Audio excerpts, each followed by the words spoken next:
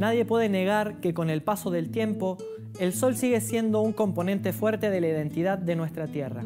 La tierra, el sol y el vino son la mixtura característica de nuestro territorio. Mendoza fue, es y será también tierra de artistas. Nuestra historia reciente muestra a las claras cómo el arte es también característica propia de la identidad mendocina. Uno de los territorios donde la tierra, el sol, el vino y el arte se encontraban era la Media Luna, con la calle Pedro Molina como eje. Fue una de las zonas donde habitaron hombres y mujeres de la bohemia mendocina. Se juntaban a charlar, debatir, componer y tomar sus vinos. Así fue como comenzó a gestarse el manifiesto del nuevo cancionero. Los años 60 y 70 vieron emerger diversas expresiones artísticas.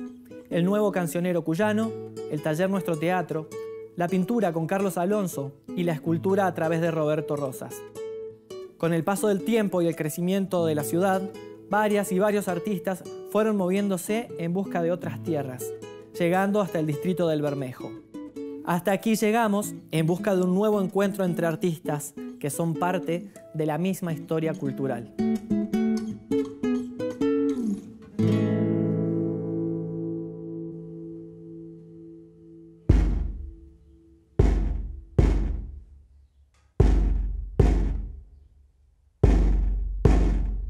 Bienvenidas, bienvenidos.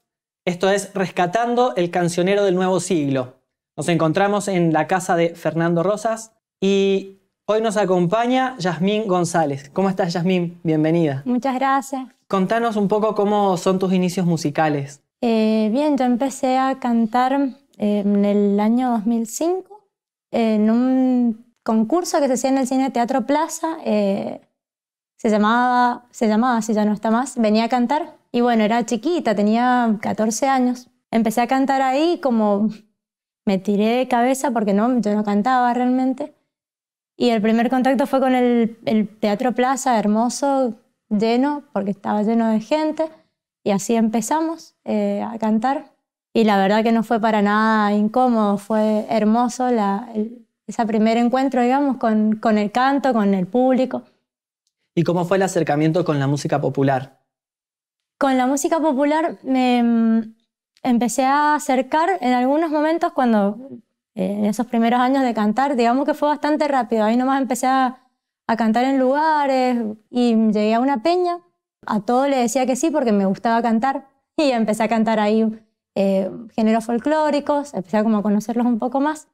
Y ya después, en el 2010, eh, empecé con la, decidí seguir la carrera, digamos, de, músico y hice el ingreso a la Universidad de Cuyo en la licenciatura de música popular, en canto, y ahí, bueno, ahí ya fue como adentrarme profundamente al, género. Eh, acá nos encontramos en la localidad de Guaymallén, donde se gestó un poco el nuevo cancionero cuyano que después tuvo repercusión a nivel latinoamericano. ¿Qué influencias tiene sobre tus composiciones el nuevo cancionero latinoamericano?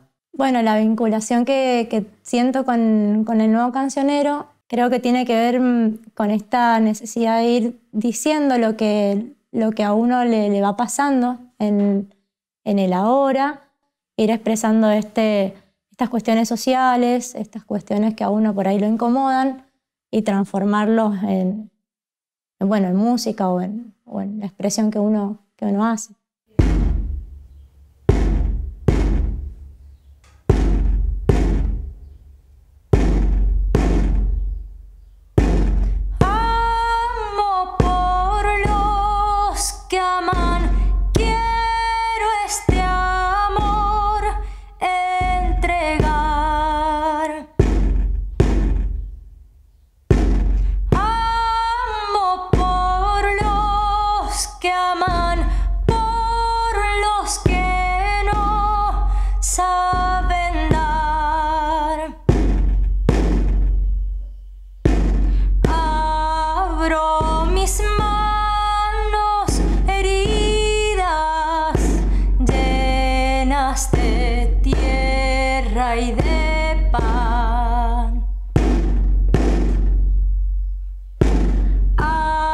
Por los que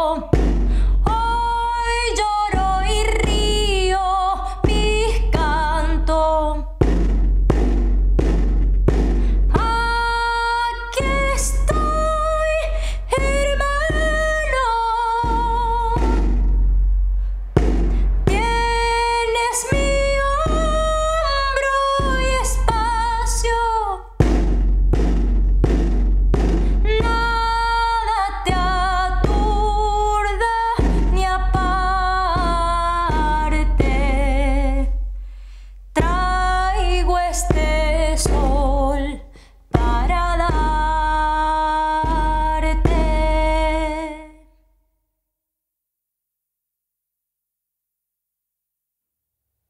Por los que aman se llama la canción que acabas de, de interpretar, que va a estar en un próximo disco. ¿Cómo surge? Fue la primera canción que, que escribí, digamos, que surgió. Y, mm, y bueno, también por eso elegí hacerla ahora, eh, le tengo un cariño especial.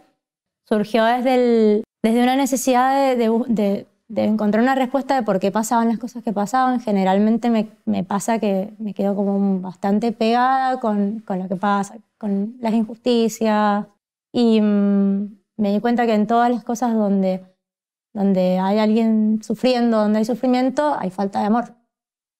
Entonces dije, bueno, si, si lo que falta es amor, trataba de, traté de transmutar eh, esa emoción que no me hacía bien en algo que, que por ahí podía sumar un poco más. Y así salió por los que amo. ¿Cómo te sentiste tocando acá?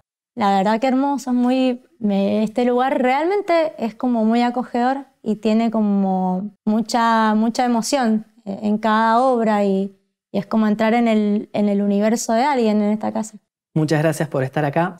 Y nos encontramos en la próxima edición de Rescatando el Cancionero del Nuevo Siglo.